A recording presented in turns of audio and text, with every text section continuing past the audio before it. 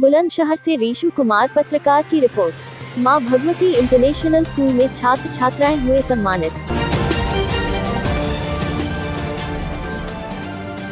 बुलंदशहर शिकारपुर नगर के माँ Bhagwati international school में छात्र छात्राओं को सम्मानित किया गया। छात्र छात्राओं के परिजनों को गले में माला पहनाकर स्वागत किया और छात्र छात्राओं के गले में फूलों की माला पहनाई गई, फिर गिफ्ट दिया और प्रमाण पत्र भी दिए। व छात्र छात्राओं को मिठाई भी खिलाई गई। वहीं माँ भगवती इंटरनेशनल स्कूल के प्रधानाचार्य ने छात्रों को बताया की जब भी आप स्कूल आए या कहीं भी जाए तो मोटरसाइकिल चलाते समय हेलमेट ज़रूर लगाए। वही पास हुए छात्र छात्राओं के चेहरों आरोप खुशी दिखाई दे रही थी। वही माँ भगवती इंटरनेशनल स्कूल के स्टाफ ने छात्र छात्राओं को पास होने पर बधाई दी और कहा कि पढ़ाई दिल लगा कर करो।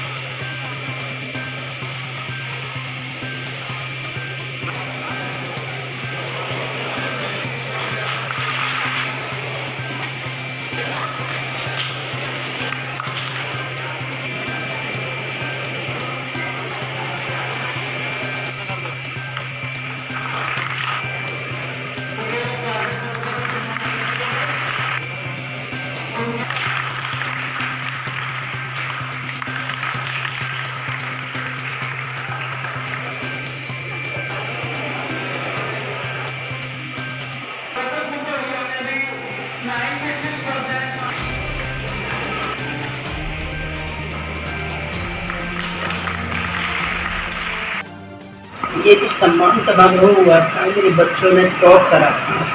मुझे इतनी खुशी है, इतनी खुशी है कि मैं इसके बारे में कोई वर्णन नहीं कर सकती। क्योंकि मुझे लगता है कि जब पौधा लगाया जाता है, वो बढ़ करके जब पलता फूलता है तो सबसे ज़्यादा खुशी जो है बड़ों की होती है। ऐसे सोचा था कि बच्चे खुशी लेकर के जाएँ, सम्मानित हों। तो बच्चों को आगे बढ़ने का यही कि उनको उत्साह बढ़े, आगे बढ़े बच्चे। और ये कहें, चाहे छोटा सा गिफ्ट है या जैसा भी गिफ्ट था, उन बच्चों को मिला तो उसको देख करके बच्चों को बहुत ज़्यादा खुशी होती है।